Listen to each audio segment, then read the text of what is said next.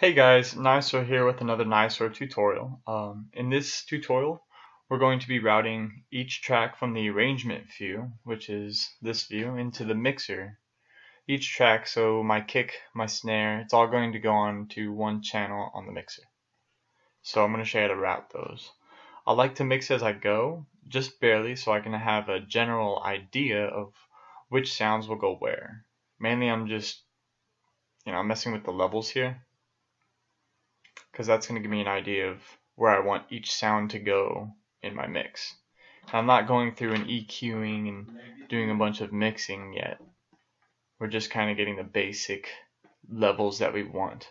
And one big thing to remember is when you're when you're producing your track, your master channel should always stay at 100 or in this case, yeah, it is 100. Okay. 0 decibels though. Up here you can see at the top it'll tell you if it's 100 with how many decibels it's down or up positive or negative. Um, but one tip when you're mixing you want to keep it under I've heard a couple different things either negative 6 or negative 8 that way when you bump it out once you're finished with the track then your mastering technician can kind of take that and have a, a lot of room to work with it and make it sound a lot better. Um, cannot stress the fact that most of these sounds, like your kicks, say you had two different kicks, you want them on separate channels so you can do different things to them and you can mix them correctly. I used to make uh, make the mistake, well what I see as a mistake is to put all my bass noises on one track and call it bass or my subs or different subs or different snares I'd put them on one track and just be like snares or my drums Eh, you don't want to do that. You want to have separate tracks, and you're going to have a lot of different tracks. But it's going to help out in the end. I promise that. So let's hear what I've got so far.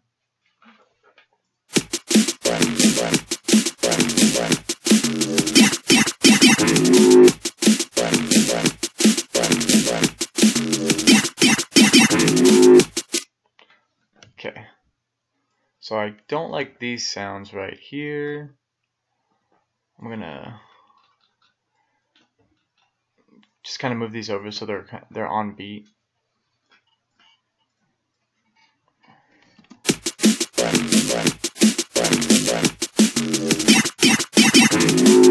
Nice, I like it. Sounds cool. Okay, um, so now to route each sound onto its own track. What I'll do is click the sound that I want. Make sure to click your pencil tool. Double click on the sound. And over here there's a track section.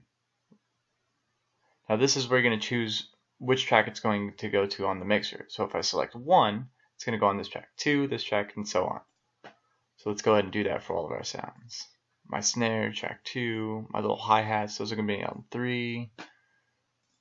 Um, this is my first bass noise on 4. This one's going to go on 5, and so on.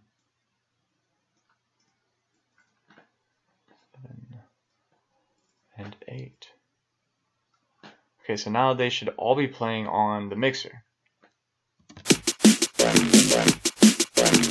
Now you can see that they're all coming up. You can see the volume on each individual track.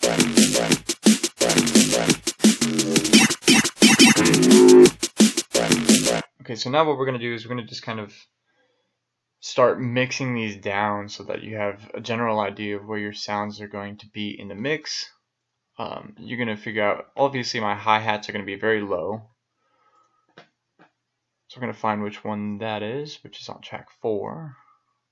I'm going to bring those way down. And then this sound too is really loud. So I'm going to bring that one down as well. And then we'll talk about EQing and EQing in a separate video.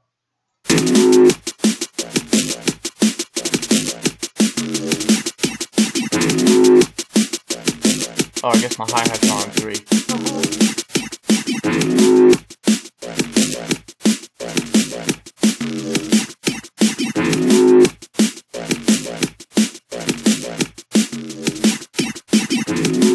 I remember I was talking about that negative 6 to negative 8 decibels, trying to keep your master channel from going above that 6 decibel rate, the negative 6. It's going to be our goal here.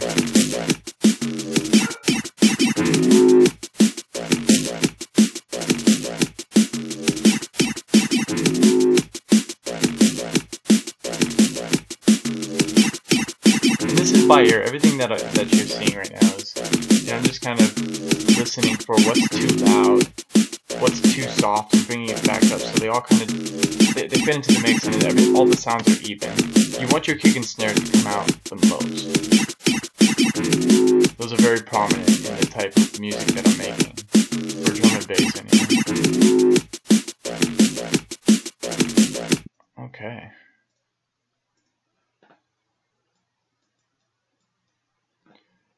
So that should give you a general idea of how to put your sounds into the mixer so that you can start mixing and adding effects to your sounds, um, to your drums, and anything else you put in there. VSTs, melodies, um, your MIDI, your MIDI samples. And that's about it. Alright, make sure to subscribe and I'll be coming up with more videos soon. Thanks.